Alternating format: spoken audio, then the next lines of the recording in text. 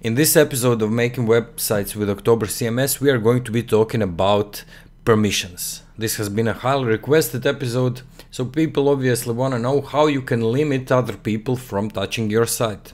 So you obviously already have a super user on your site because you installed October, but, but maybe you want to have a content manager. So you don't want that content manager to be able uh, to uh, touch your settings or your templates or your partials and so on. So you want to limit uh, things they can do on your site. In this episode I'm going to show you how you can do just that in October CMS. So to test these permissions out, we would actually need another user. But you don't want to go to users if you have the users plugin installed. You actually want to go to settings and then to administrators. So we want to limit our certain administrators access to our site.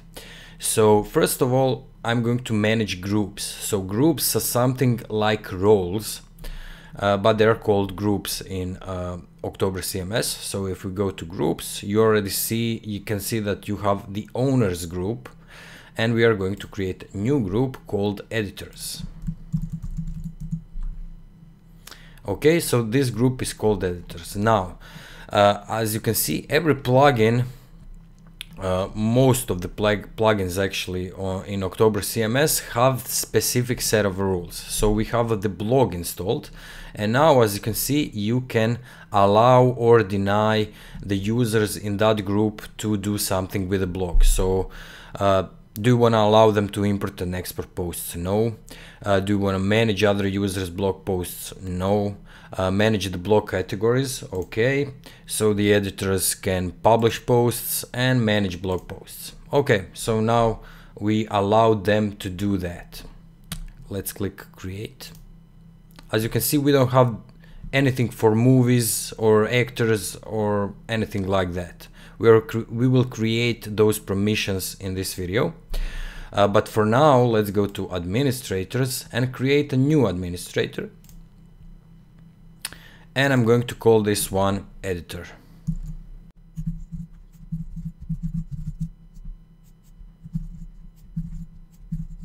And it's going uh, that editor is going to go into editors group. We can create it.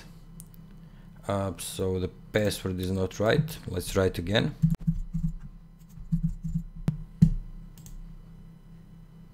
Okay, so now we have an editor created.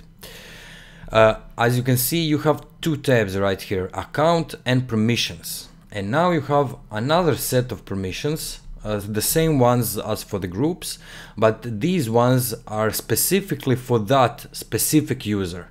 So uh, by default, they're going to inherit all of the permissions from the group th those users are in but if for some reason you have you want to have a user called John and he's an editor but you want that specific user to be able to import and export posts you would just click this or you maybe don't want him to manage uh, blog posts uh, you would just do that. And that's it. So these permissions are for this specific user. Okay? Uh, we will leave everything to inherit. So everything is going to be inherit uh, inherited from the editors group. We will save this and that's it as I said before as you can see we don't have anything for our plugin here. Uh, so we are going to create those permissions. But first of all let's just test this out to see how it works. So I'm going to go to this incognito window and I'm going to log in as editor. And now you can see that I can add new blog posts, categories, I can do anything I want in movies, which is not that uh, good. And I can click on settings, but I don't get any settings to play with. So this is the way the most basic permissions work in October. Now we, we are going to create permissions for our movies and I'm going to later on show you how you can fine grain those permissions. Okay, so let's create permissions for the movies. So let's say we don't want editors to be able to add or do anything to the movies. So the simplest way would be to just go to builder. We can go to builder, uh, select a plugin, movies, okay. And now you have these permissions right here. So if I click on permissions, you enter permission code and I'm going to call this code something like manage movies. You can add whatever name you want, it must be a unique name. So you would probably want to write something like uh, so watch learn dot movies dot uh, the name of the permission but for simplicity's sake I'm just going to call this manage movies okay uh, the top title is going to be uh, that section uh, which under which these permissions display. So I'm going to call this movies and the label for this is going to be movies. Actually manage movies. Okay, save this. And now if we go to settings, administrators, uh, manage groups, and we go to editors, we will have movies and then we would have manage movies. So we can allow or deny editors to manage movies. But if I click this or unclick this, nothing is actually going to happen uh, because uh, if you go right here, as you can see, managing movies is denied for uh, for editors, but they can still manage them. So nothing actually happened. Uh, to make this work, you would have to go to Builder. You would go to the backend menu and you would just click on Movies and as you can see you have permissions right here. If I click on it, uh, you get Manage Movies. Okay, click this. So uh, the users that have Manage Movies permission will be able to see this actual link to manage those movies. So if I click this, save it, and remember we didn't add allow to the editors to be able to uh, manage movies. If we go right here now, as you can see, no movies are present. You can't even click on that. But if I go to settings, administrators, manage groups and then to editors and click allow on manage movies uh, and save it of course. Now if I refresh this page I will get movies. Right? And now you can uh, manage those movies.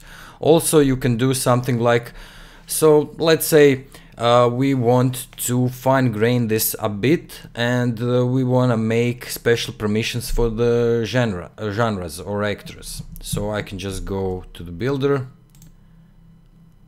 and I can create a new permission called manage genres. And the tab title is also going to be movies. And this is going to be manage genres. Okay we save this. And now if I refresh this uh, actually we didn't go to backend menu. Uh, click on genres permissions. Okay save this. Refresh it. And now we don't have genres right here so this is great. This is the way you would create special permissions for your plugins. Now I'm going to show you how you can fine grain this even a bit more. So this is going to be a bit more complicated. Uh, just a little bit. We are going to have to touch the code for it, but it works. So let's say that uh, you want to create a special permission uh, for deleting movies. So maybe you want to um, allow your editors to add movies, but not to delete them.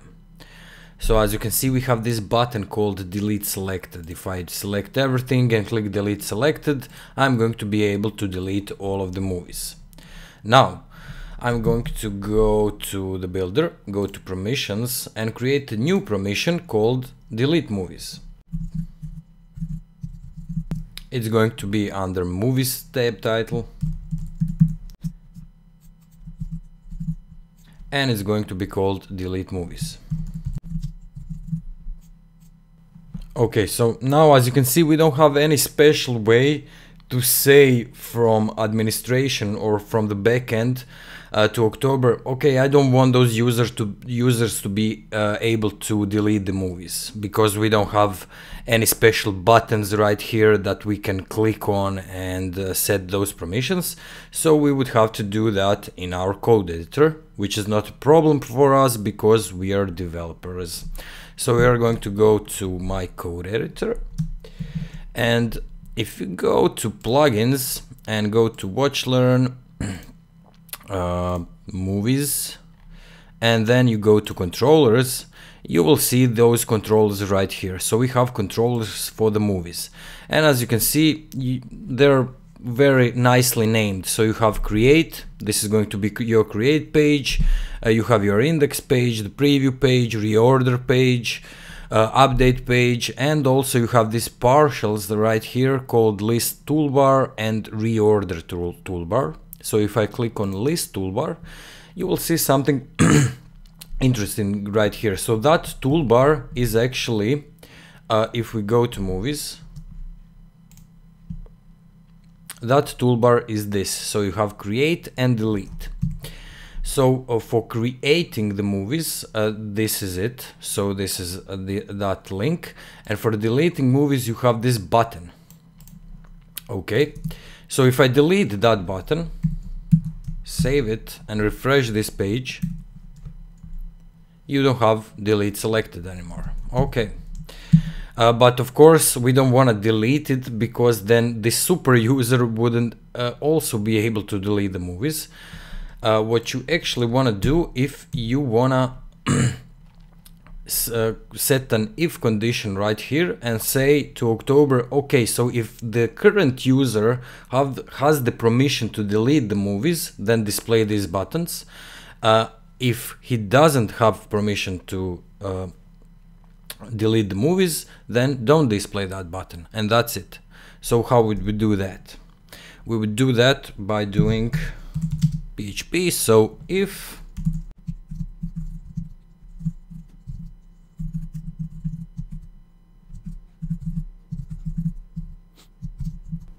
So if this user has access to delete movies, so delete movies is actually, if we go to builder permissions, so this is that code, right? Delete movies. And you can call that code whatever you want. So if that user has access to delete movies, then display this button. And that's it. So you just put it right here, save this.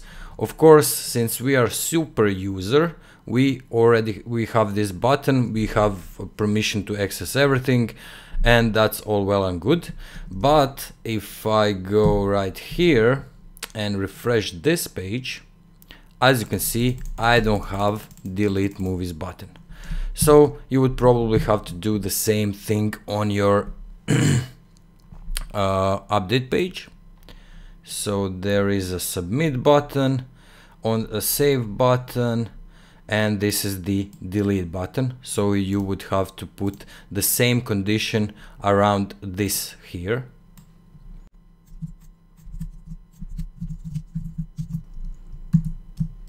okay so if I go to a specific movie you will see that I don't have any delete icon right here but if I go as a super user you would see this trash can right here uh, with which I can delete that movie. And that's it. So this is the way you would create some very uh, general permissions for October CMS and uh, this is the way you would create some fine grained permissions. Of course, if we want to add uh, if we want to allow this user to delete movies then we would just go to settings administrators uh, manage groups editors and then we would have delete movies right here and we can allow it save it and now this user will be able to delete the movies so that's it uh, if you have any questions about this uh, please let me know but I think this is enough to make pretty much any kind of permission you want in October CMS for your plugins. Okay, so this is it for this video guys. Everything we did here will be available for you on GitHub. Uh, if you like this video, please give it a thumbs up. If you like the channel, you can maybe subscribe to it. Also, you can ask me questions on Facebook, Twitter, GitHub, uh, YouTube, and so on. Uh, thank you guys for watching, and I will see you in the next episode.